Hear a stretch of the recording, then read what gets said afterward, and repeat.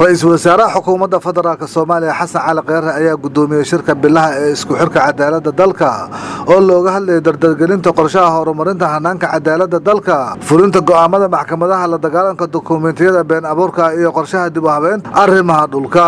Shirkan oo ay ka soo qaybgaleen madaxda hay'adaha garsoorka taliska ciidanka booliiska wasiirada amniga gudaha iyo cadaaladda. Maamulka gobolka banaadir iyo hantidhowraha guud ee qaranka ayaa looga dooda muhiimadda ay cadaaladdu u leedahay xasilinta dalka iyo soo celinta kalsoonida shacabka soomaaliyeed. Ra'iisul wasaaraha ayaa bahda garsoorka iyo hay'adaha fulinta kula dardaarmay inay si dhow uga wada shaqeeyaan. Hubinta iyo fulinta go'aamada maxkamadaha si bulshada ay u hesho cadaalad dheeli tiran oo laga ilaaliya laalaab iyo musuq maasuq.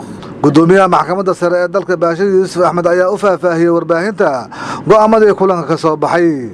Runtii shirkan waxa weeye shir bilo ah oo ay iskugu yimaadaan hay'adaha cadaaladda ku lugta leh haddii ay noqoto garsoorka oo maxkamadaha iyo xeeraalinta ciidamada booliiska maamulka gobolka banaadir iyo caasimadda muqdisho wasaaradda amniga wasaaradda cadaaladda ciidanka asluubta iyo ra'iisul wasaaraha oo isaguna runtii jeergareeyo ka soo qayb gala.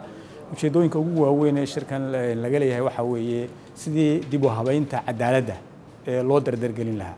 Muddadii aanu aan xilka qabtay nimid waxaanu ku dadaalay in dib u habeyn ballaadhan lagu sameeyo cadaaladda marka waxaa noo soo baxday cadaaladdu inaanay ahayn oo keliya ta maxkamadaha ee loo baahan yayay dhammaan hay'adaha cadaaladda lugta ku leh in dib u habeyn lagu sameeyo. Isla markaana in la abuuro jawi wada shaqayneed oo wanaagsan oo ka dhexeeya hay'adaha si ay u fududaato cadaaladdii loo hirgeliyo. Arrimaha ugu waaweyn ee maanta shirkan si gaara loogaga hadlaya waxaa ka mid ah fulinta xukumada iyo go'aamada ka soo baxa garsoorka oo ah meelaha ay bulshadu cabashada badan ka qabto. Marka waxaa la isla qaatay in dhammaan xukunada ka soo baxa garsoorka. Sida ugu fudud loo fuliyo waxaa la isla jeexay waddadii lagu fulin lahaa oo garsoorkii inuu hogaamiyo ciidankii booliskuna uu ka kaalmeeyey garsoorka fulinta go'aamadaas. Arrintaasoo runtii aanu isleenahay wax badan ayay ka taraysaa. Ummaddu inay hesho cadaaladda ay u ooman tahay ay raadinayso. Arrinta labaad iyaduna muhiimka laga hadlay waxaa weeye la dagaalanka been abuurka waxaa runtii dhibaatooyinka waaweyn ee dalka ka jira ee garsoorka haysta ee cadaaladda caqabadaha ku ah ka mid ah in dadki in la sameeyo dokumentiyo badan oo been abuura dokumentiyadii dowladda.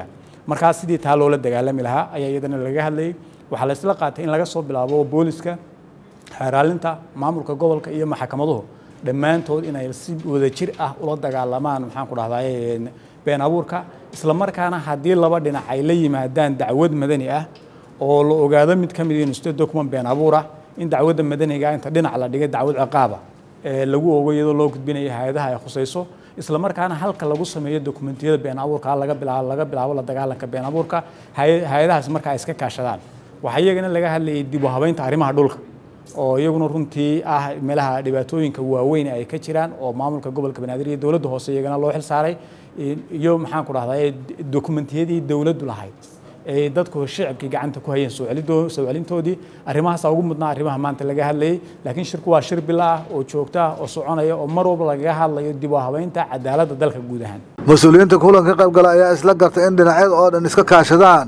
Si adeeg garsoorka loo gaarsiiyo heer muwadin kasta ee soomaali uu isku halayn karo loona helo hanaan cadaaladeed hufan oo daahfuran. Muuse maxamuud jiisow star t v muqdisho